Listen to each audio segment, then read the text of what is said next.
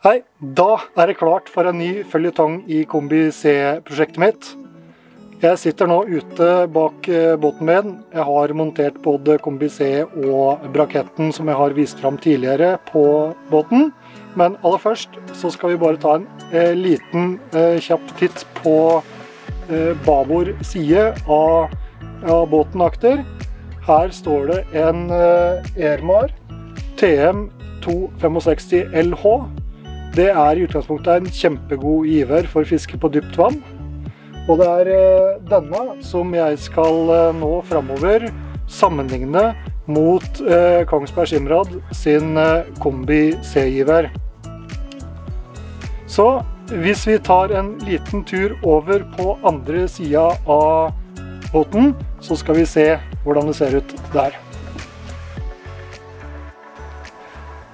Her er den. Kongsberg Simrad kombi C.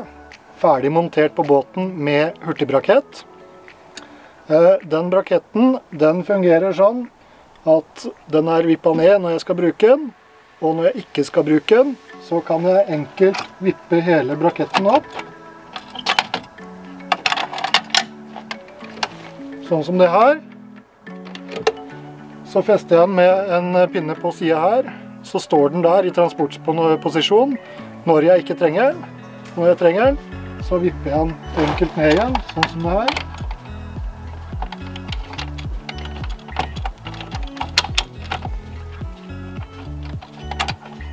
Losepinne.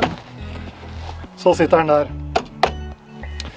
Denne har stått på båten i halvannen måned nå, men øhm, de som har fulgt med fra tidligere, vet at jeg opprinnelig måtte ta til takke med en eh, eldre Simrad BSM2-modul. Det viste seg det at eh, tiden har gått videre, og softwaren på min Simrad eh, NSS Evo 3S spilte ikke helt på lag med den modulen, så eh, resultatet ble ikke helt som forventa.